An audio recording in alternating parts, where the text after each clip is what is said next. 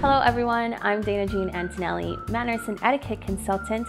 If you're new to my channel, welcome. I'm so happy that you're here and that you have found me. In this channel, I talk about manners, etiquette, and anything that can help you become the best version of yourself. If you're a returning viewer, welcome back.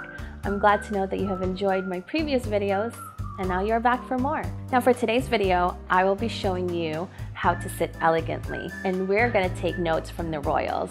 I have four different techniques and styles to show you on how to sit elegantly. Now, sitting properly will promote good posture. It shows that you have confidence and professionalism if you're in a business setting, and also social norms. It could be deemed disrespectful if you're not sitting properly or with good posture. It shows that you're just not engaged. So, without further ado, let's get to it.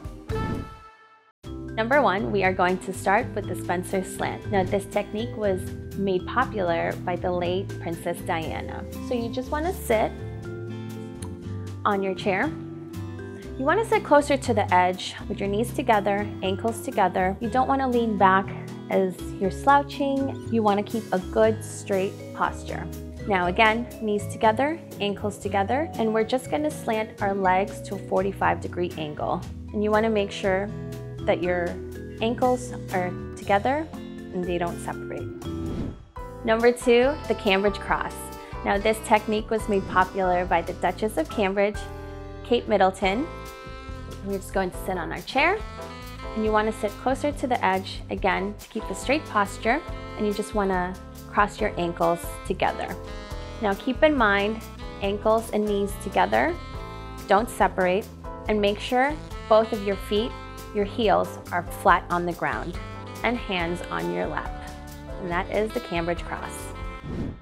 Number three, the Sussex slant. Now this technique was made popular by Meghan Markle.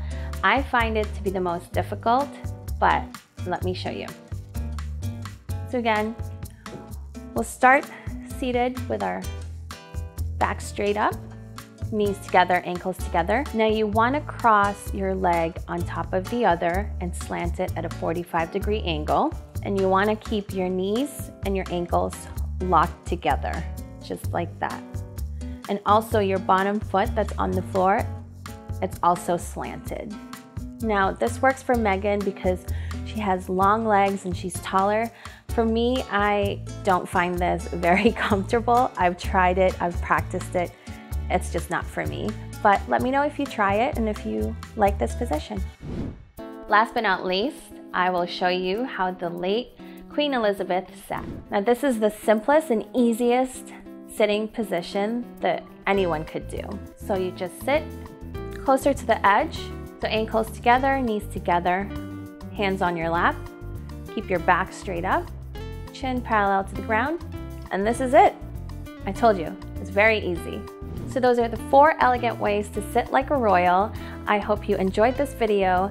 And as you can see, I prefer the Cambridge cross or the Queen's Post. I find them the easiest. And let me know in the comments below which one is your favorite. And if you have any questions, leave them down below. I hope you liked this video. If you did, please give it a thumbs up.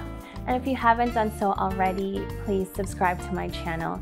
And thank you so much for watching. I hope to see you on my next video.